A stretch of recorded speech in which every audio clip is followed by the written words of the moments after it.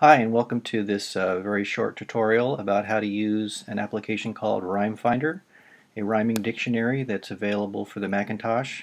You can get Rhyme, uh, Rhyme Finder uh, via the uh, Mac App Store uh, through Apple.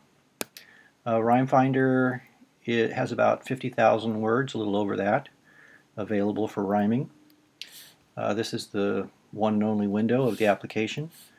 Say you want to find a word that rhymes with uh, dent. Type in the word dent and you immediately get some results. Uh, the results you see initially, these are considered the strongest uh, rhymes and they're strong because uh, the, the resultant words in that list all have the, the phonemes that spell the word dent in it. You've got indent, occident, and president. Um, those are sometimes called identical rhymes. Uh, for other rhymes, you would take the uh, slider here, the rhyme strength slider, and move it over.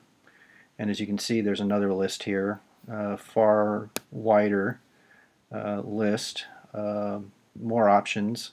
These are a little less um, perfect in the sense that uh, fewer of the um, phonemes uh, that spell the word dent are in this list and that's the way it, you proceed using this speaker depending on which direction you go.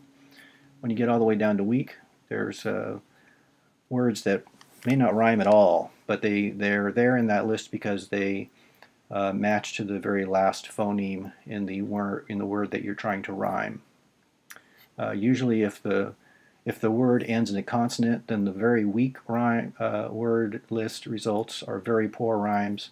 If you are rhyming a word that ends in a vowel, then, the, then even the weak uh, results are pretty good for rhyming.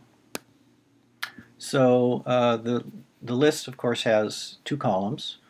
You can sort the list by clicking on the, on the uh, column headers. For uh, In this case, we're sorting by alphabet, uh, alphabetically and you can also sort by the syllable count on that column. We can also sort uh, or filter by uh, syllables by using this pop-up. If you just wanted to look at all words that had one syllable, you'd go there and there's your list, a short list of words in, uh, that have one syllable. Um, let's see, another feature of the app if you come down to the bottom of the window, there's a split screen uh, control.